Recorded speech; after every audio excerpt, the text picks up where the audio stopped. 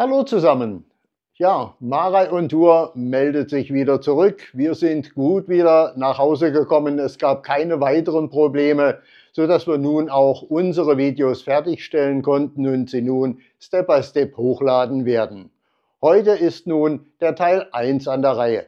Ja, und da müssen wir zeitlich ein Stück schon zurückgehen. Das heißt, wir befinden uns im Video jetzt so Ende Juli, Anfang August. Wir werden oben am Nordkap natürlich starten, dann den Trollen von Trollholm-Sund einen Besuch abstatten, äh, abstatten und dann rüberfahren nach Hammerfest, um uns die Stadt anzusehen natürlich und südlich dann nach Alta zum Besuch der Nordlichtkathedrale. Von dort geht es dann weiter der E6 folgend nach Hatteng am Lünnefjord. Dort machten uns zwei Thüringer Wohnmobilisten auf den Steindartsbreen aufmerksam. Den ließen wir uns natürlich nicht entgehen und haben diesen besucht. Um anschließend dann weiter nach äh, Narvik zu fahren, immer der E6 folgend und dort biegen wir ab in Richtung Schweden und besuchen den Abisko Nationalpark. Anschließend dann zum Mudus weiter, Mudus Nationalpark, wo wir auch mit diesem Video beginnen werden. Wir wünschen euch schon mal viel Spaß.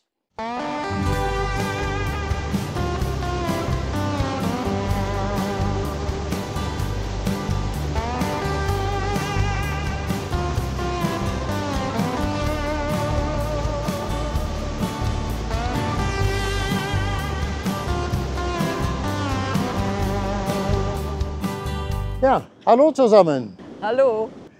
Unser Abenteuer Nordkap ist ja nun beendet. War Leider. super. Ja, leider. Leider. Fliegenzeug haut ab. Ähm, ja, und nun befinden wir uns natürlich auf der Rückreise und machen dabei verschiedene Stationen, laufen an, was wir auf der Hochfahrt, auf der Anreise nicht so mitgenommen haben. Unter anderem hier den Mudus Nationalpark, wo wir uns aktuell befinden und was machen wollen? Elchhunting. Bingo! Ja, dazu haben wir uns extra eine Wildkamera besorgt. Die schleppen wir schon eine ganze Weile mit. Die haben wir extra gekauft für solche Zwecke. Haben sie noch nie eingesetzt. Das wollen wir jetzt einfacherweise mal ausprobieren, weil hier im Mudus Nationalpark haben wir schon an verschiedenen Stellen die Reste, also den Code vom Elch gefunden Die und Reste vom Elch. die Reste vom Elch. Die Ausscheidung, Die Ausscheidung, vom Elch. genau. Ja, und ähm, wir haben dabei dann äh, auch eine, schon mal Elche gesehen, aber in einer Position, einer Situation, wo man sie nicht aufnehmen konnte. Es war dunkel, die waren ziemlich entfernt. Und ja. zugegeben, wir waren sehr überrascht, dass wir die auf einmal da sahen. Und auch fast ängstlich, dass sie auf uns zulaufen könnten. Die waren so groß. Das sind riesengroße Tiere. Das jedenfalls haben wir vor und wollen sehen, ob das funktioniert.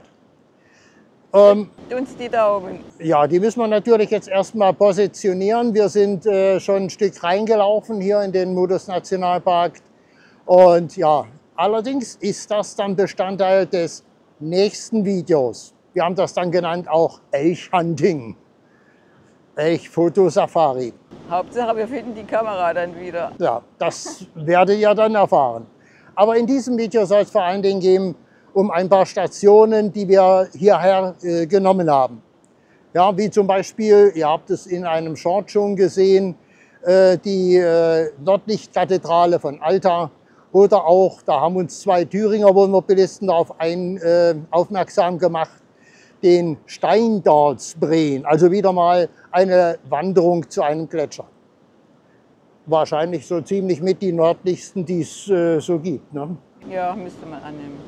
Und äh, das sind also so einzelne Stationen, ehe wir dann hier sind. Denn heute ist ja nur der erste Teil von diesem Elchhunting, die Positionierung der Kamera.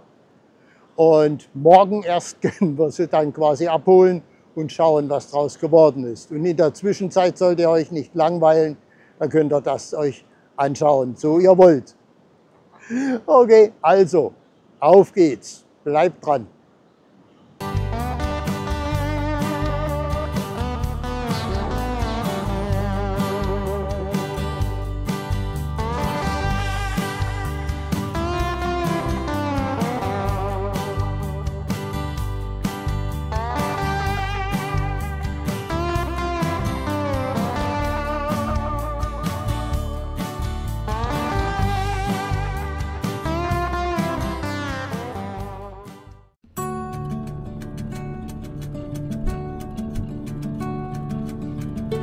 Der Rückfahrt vom Nordkap bieten sich uns natürlich auch wieder ganz tolle Ausblicke.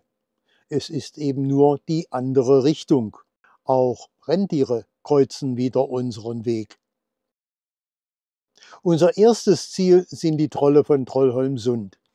Es ist eine spezielle Kalksteinformation.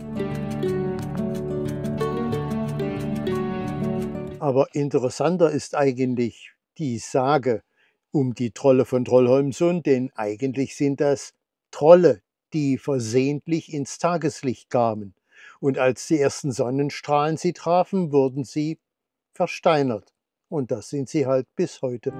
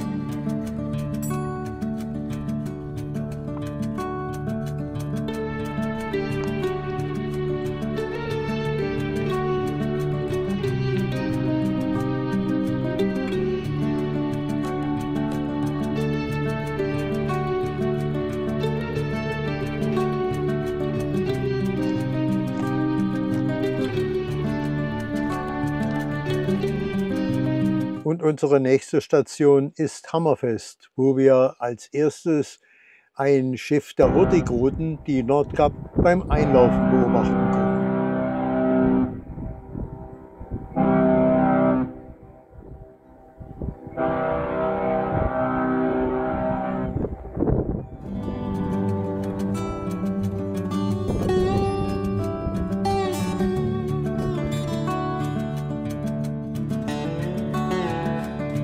Und hier hoch oben über Hammerfest haben wir auch unseren Stellplatz und diese Rentiere begegnen und besuchen uns am laufenden Band.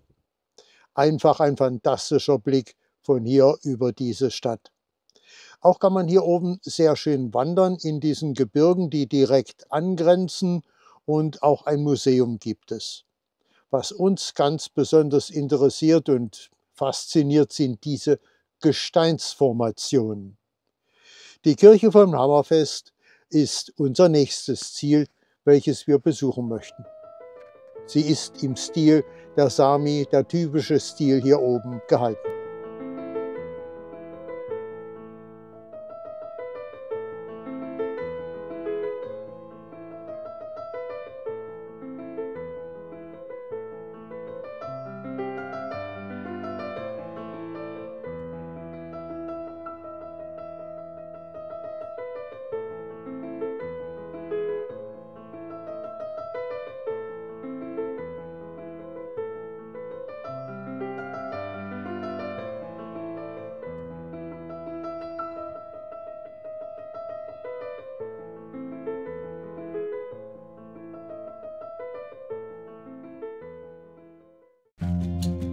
Und weiter ging unsere Reise zu unserer nächsten Station Alta mit der Nordlichtkathedrale.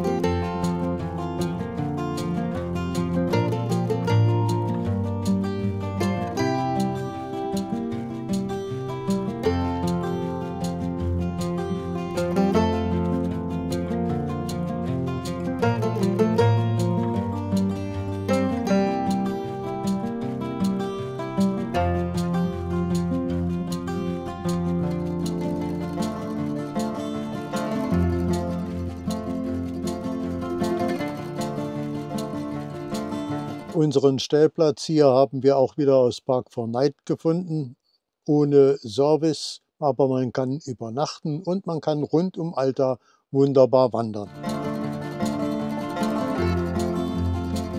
Und weiter ging unsere Reise nach Hateng am Lyngefjord mit dem Steindalsbreen.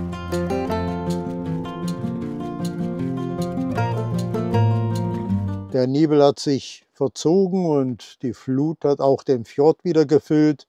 Und so präsentiert sich uns eine fantastische, eine wunderbare Landschaft. Der Stellplatz Hateng liegt an der E6. Wir fanden ihn auch wieder in Park 4 Night und ja, in einer wunderbaren Traumlandschaft, so wie ihr hier seht. Er hat verschiedene Einrichtungen, äh, Stellplätze, die entweder auf Asphalt oder Schotter gelegen sind, so wie wir halt standen, verfügt über Ver- und Entsorgung und über einen kleinen Sami-Shop, wo man entweder Kaffee trinken kann oder sich auch mal ein Souvenir mitnehmen kann. Und von hier starten wir unseren Trip zum Steindortsbreen.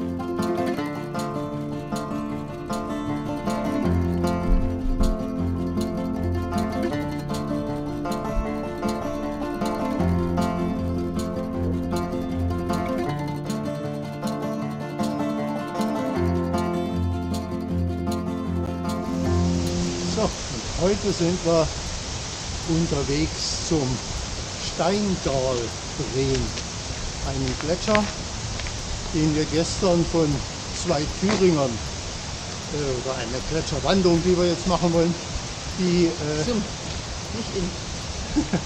genau zum Gletscher, die wir gestern aber von zwei Thüringern erfahren haben und die offensichtlich ganz prima zu laufen ist etwas lang, also Durchhaltevermögen wieder gefragt. Aber schauen wir mal.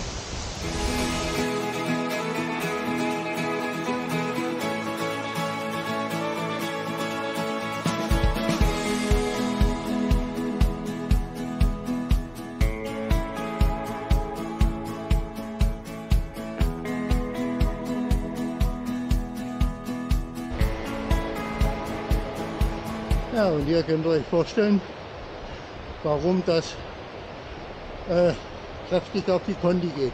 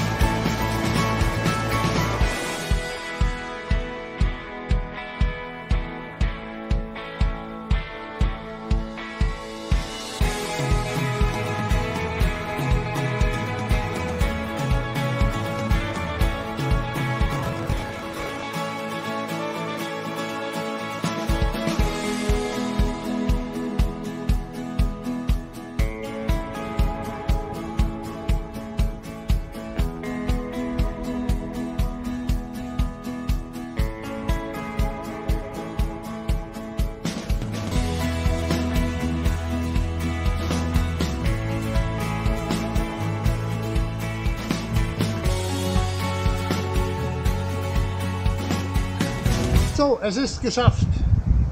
Wir sind am Breen, wobei wir Die Marlies hat den letzten, letzte Stück nicht mehr mitgemacht, das war einfach zu viel für sie. Ich bin dann jetzt bisher ja den Rest gegangen. Aber das ist schon ein toller Ausblick hier auf den Steindalsbrenn.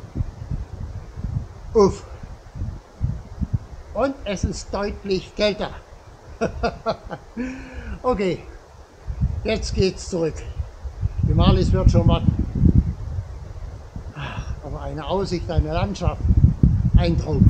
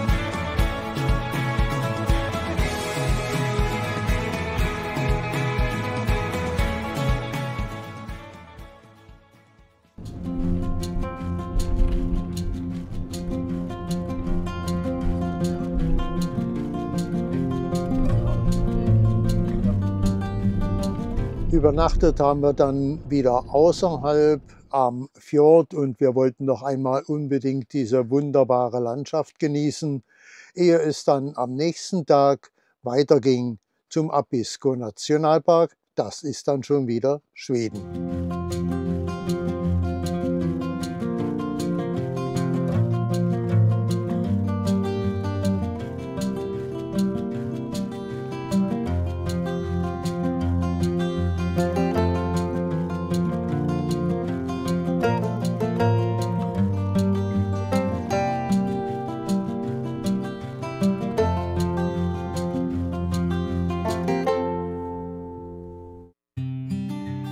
Für unseren Aufenthalt hier am Abisko Nationalpark fanden wir diesen Parkplatz, der keine zehn Kilometer vom Nationalpark entfernt ist und über eine Entsorgungsmöglichkeit verfügt, inklusive Müll. Für unseren Besuch im Abisko Nationalpark haben wir uns nicht gerade das beste Wetter ausgesucht.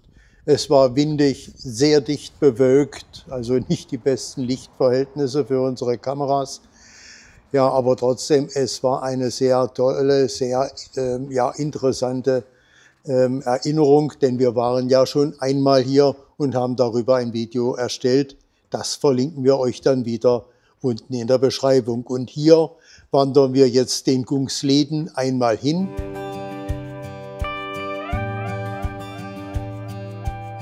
Genau, und einmal zurück.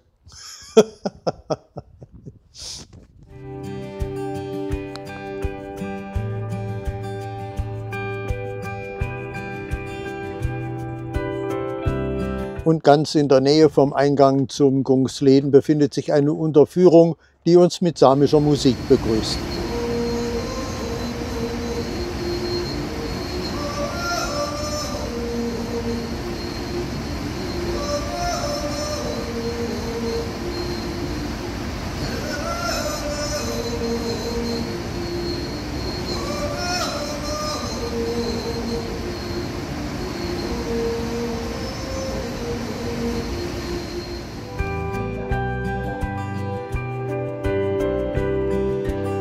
Und natürlich besuchen wir auch den Canyon vom Abisko Yaga, in dem offensichtlich kälteresistente junge Leute ein Bad nehmen.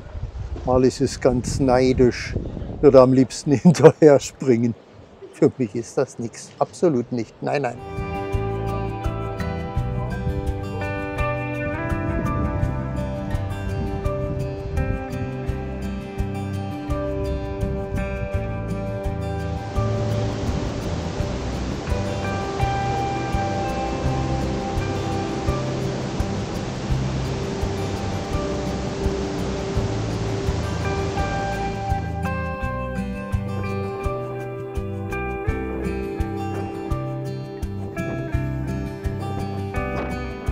Wir empfehlen auf jeden Fall auch einen Besuch der Torne Hammenskirka, ungefähr eine Viertelstunde Wanderung vom Parkplatz aus entfernt. Es ist eine Holzkirche, die voll im Stil der Sami erbaut wurde. Uns gefällt ganz besonders dieser einfache, dieser schlichte Stil, den wir hier sehen.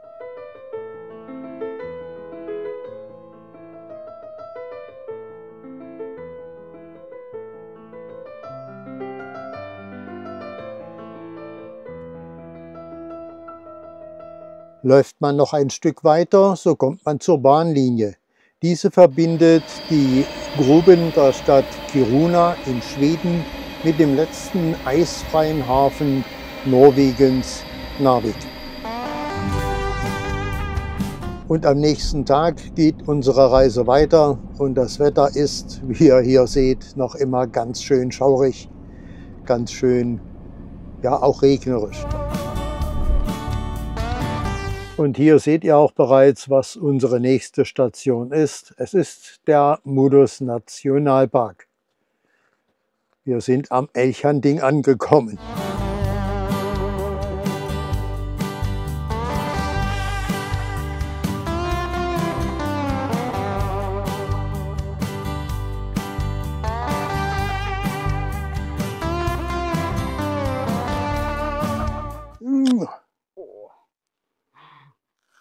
Die sind sehr stabil. Okay. Prost. Prost.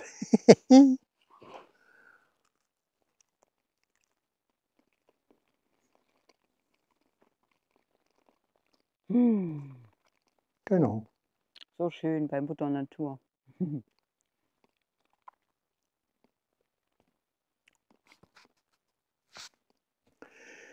Ja, die Kamera ist nun montiert. Wir haben vorhin noch mal kontrolliert, alles ist in Ordnung. Jetzt bleibt nur noch zu warten. Morgen müssen wir also wieder her und können dieses Video vom Elchhunting dann euch erst präsentieren. Aber wir hoffen, euch hat unsere Anreise, die wir ja zwischengebaut haben, als Teil gefallen und äh, mit dem äh, Steindalsbrain und auch äh, ja, Hammerfest und so das sind schon auch tolle Erlebnisse gewesen. Mit den Rentieren. Mit den Rentieren super. da. Absolut super. So dicht sind wir noch nie rangekommen. Nee, auf jeden Fall auch von der Menge, was da. Also das war schon, war schon beeindruckend. Okay, also, wir sehen uns morgen wieder.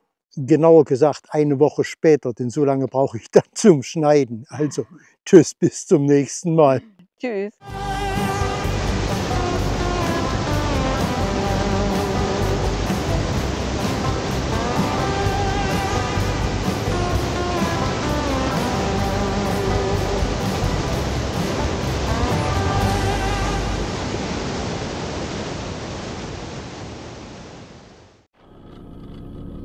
Auf der freien Straße. Nein.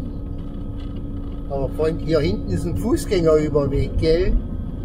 Den solltest du nehmen. Eben noch Sonnenschein, jetzt Gewitter. Kurz nach dem kracht es gleich.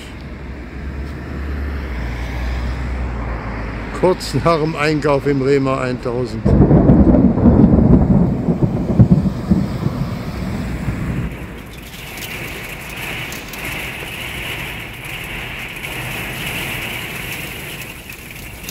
gerade noch rechtzeitig wieder ins Wummer reingeflüchtet.